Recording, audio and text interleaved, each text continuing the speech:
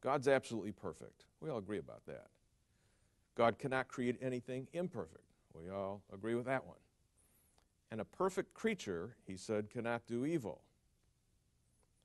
We don't agree with that. You've got to tell us why in a moment. And therefore, evil, he said, cannot arise in such a world. But evil did arise. I mean, look around it. It's, it's here, okay? Evil did arise in the world. Hence, either A, God's not absolutely perfect, or God did Didn't not create, create God did not beings. create a perfect creature. Yeah. Okay?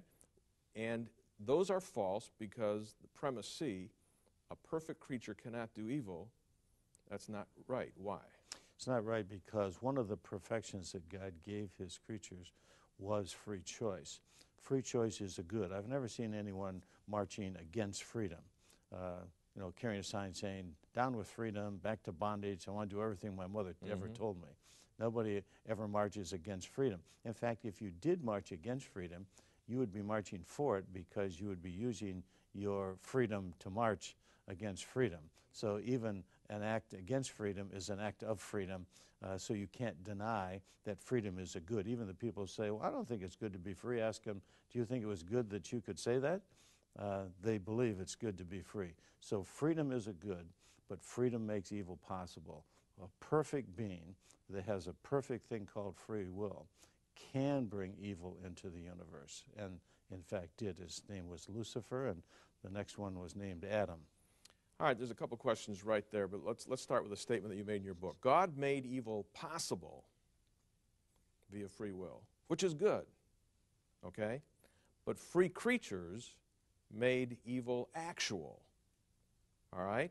Question is if a free creature is perfect, okay, what's even motivating him to choose evil? Because there's nothing in him to start with that is evil, because he was made perfect. It's a good question. It's like asking who made God.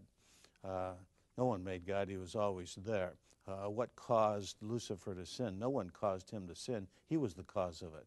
So you can't ask what's the cause of God since he's the first cause, and you can't ask what caused Lucifer to sin because he was the first cause. So it's what we call a category mistake. It's like asking where was the man when he jumped off the bridge? Say he was in the air. No, that was after he jumped. You say he was on the bridge. No, that was before he jumped. Where was he when he jumped off the bridge? Well, see, it's a category mistake because jumping is a process. So you can't ask a pinpoint location of a process activity. And you can't ask who made the one who made it because the one who made it is the one who caused it. And Lucifer caused the first sin, Adam caused the first sin among human beings. And so their free will was the first cause of sin, and there is no cause of the first cause.